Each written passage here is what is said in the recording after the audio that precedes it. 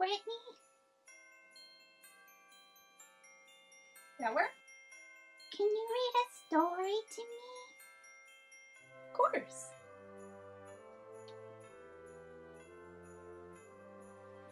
Home for Christmas by Jan Brett.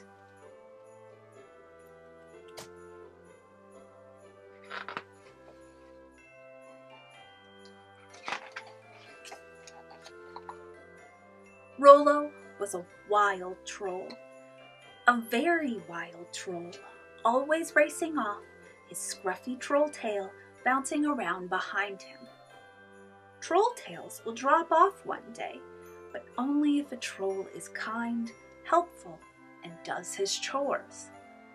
Rollo's little sister had lost hers long ago, but Rollo didn't care one bit. He just did whatever he wanted. Oh no! Seems like Rollo's not a very nice troll. Maybe Rollo will change his ways in the book. I hope so. Rollo never made his bed for Mama Troll. He never chopped wood for Papa Troll. He never helped little sister collect eggs. One morning, when they all asked for his help, Rollo had had enough. No, no, no, he whooped, and he grabbed his rucksack, leapt over their heads, and ran towards the mountains. Mama Troll looked at Papa Troll and shook her head sadly.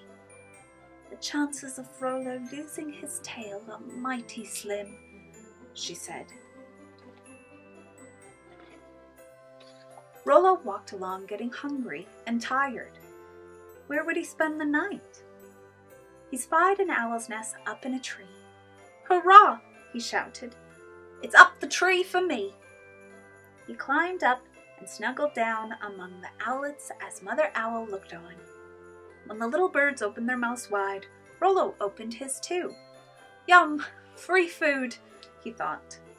Sleepy and full, he dozed off, tucked under Mother Owl's warm, fluffy feathers. No bed to make here, he mumbled.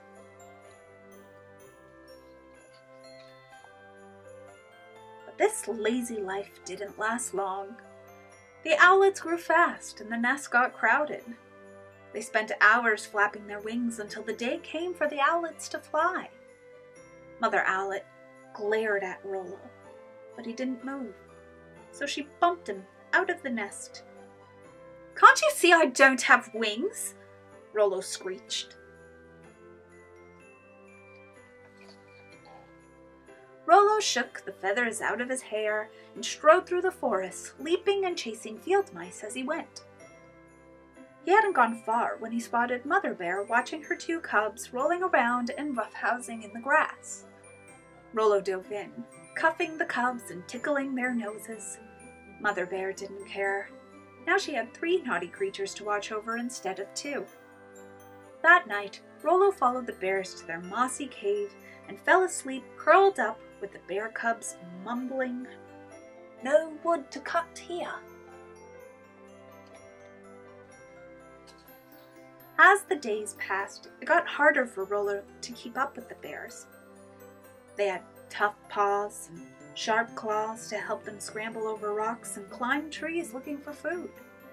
Then, at the end of summer, Mother Bear spotted a hive. She opened it up with a big swipe of her paw and delicious honey gushed out. It had been a long time since Rollo had tasted anything so sweet. He shoved the baby bears aside.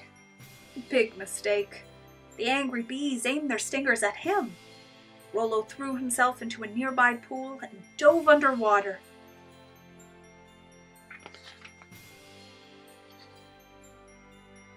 Rollo floated up, the taste of honey still in his mouth. Oh, I wish I had some of little sister's sweet noseprint cookies, he thought. Maybe I should go home. I bet you his sister's cookies are really good.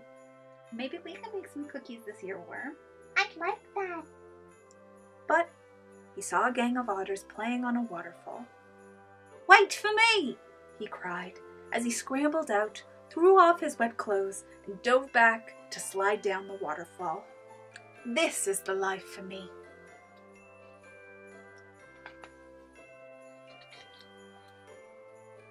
One morning, Rollo awoke to find a thin skim of ice on the pool. Otter didn't give it any mind, but Rollo could not stop shivering. He put on his clothes, stuffed his boots with moss, waved goodbye, and went on his way.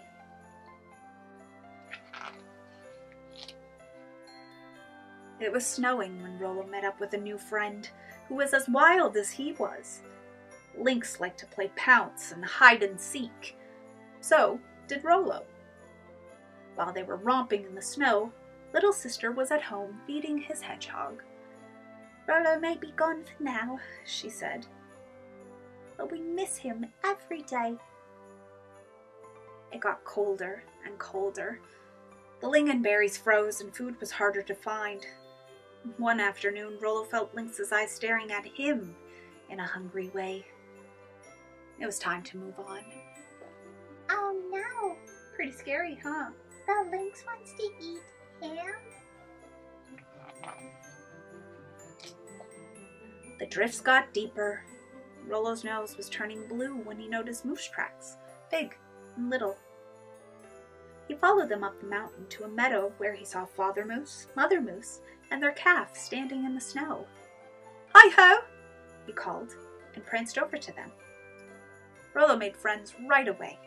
He found berries and lichen under the snow where Father Moose had scraped away the ice with his hooves.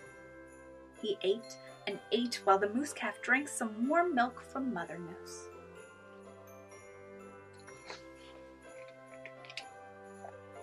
Rollo spent the night with the moose family. The next morning, he was so happy to be with them that he jumped up expecting to get a big hug from Mother Moose, just the way his mother hugged him at home. But Mother Moose was not used to a cold, pointy troll nose pushing up into her soft, warm nose. She tossed her head and galloped off, leaving Rollo sprawled in the snow.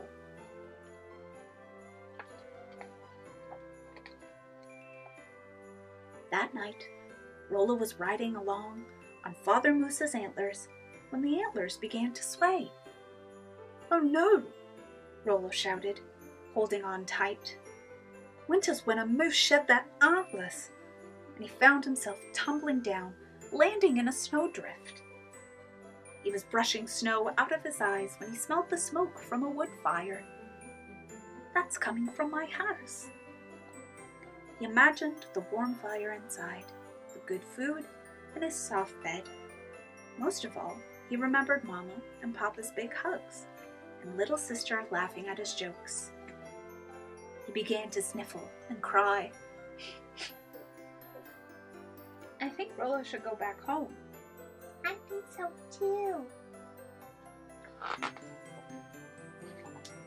As Rollo's sobs got louder, the antler began to rock back and forth on the slippery snow.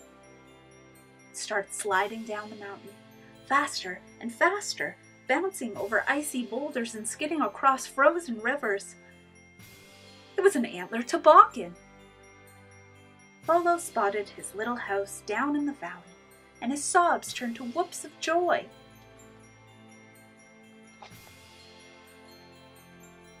Rollo's family was on their way home with their Christmas tree when they heard whoops echoing down the mountain. They knew in an instant that Rollo had come home. They rushed to meet him as fast as they could.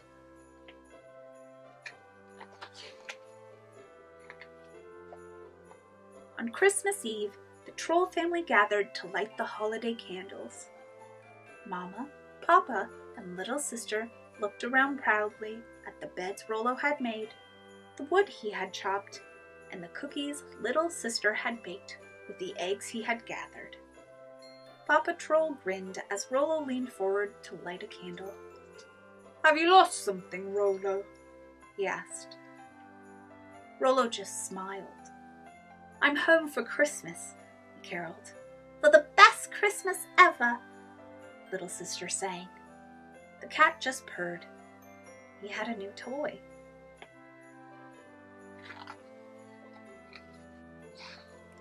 After the feast, the troll family sat by the fire, home for Christmas, all together, singing and telling stories far into the night.